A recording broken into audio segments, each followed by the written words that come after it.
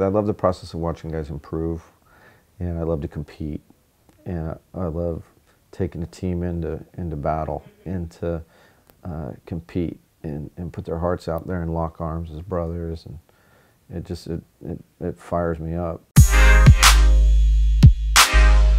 Well, we have 26 practices in at the time of filming this. So how do I feel after 26 practices? Well, I'm excited because I believe in our guys. I enjoy coaching them, and I feel like they're hungry and they're focused on uh, the process of improving and developing. I'm always a little bit reticent because there's just so much more you'd like to prepare your team because you want your team to be successful.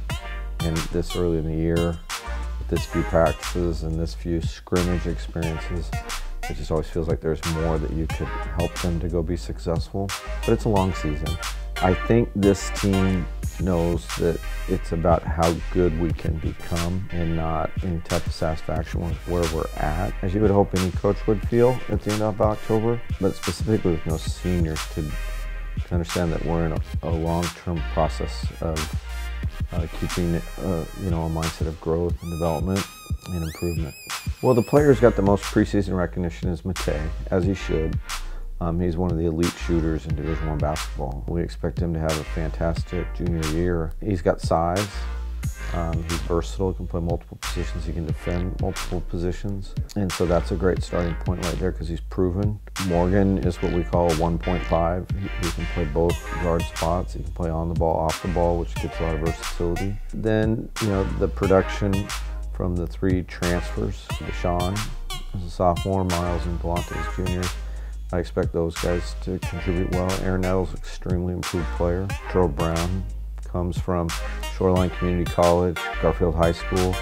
Averaged 30 points a game to lead the NWAC last year. That's an impact player who's coming in right there. We think that the freshmen have a chance uh, to help us, particularly maybe early Riley, just because he's physically a little closer to college college level. But, but Trey and Rip and Ian are, are some really good players.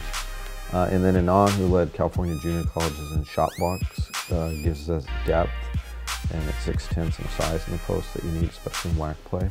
So it'll it'll probably be a higher scoring team than last year, and we'll play a little faster as as we really really make our mark. You know, a team that is making 12, 13 three pointers a game, uh, getting to the free throw line a lot, shooting over 50%. That's something that is still in the vision. It, it, we're, we're, not quite there yet, but we're going to get there. Well, they keep score, so you want to win. So one of the first goals I look is, is we want to have a winning season. You know, as I more and more coach, it's my 20th year as a head coach, I think I'll look at it a lot on how much we develop each player's potential. One way of looking at success the enjoyment level by the players and the coaches. We're eager to compete. We're eager to to take on an opponent, and I believe that this team, despite a very difficult schedule, has the potential to have a season that will make all of the Seattle U fans uh, excited. See you at the game. Together on three. Together.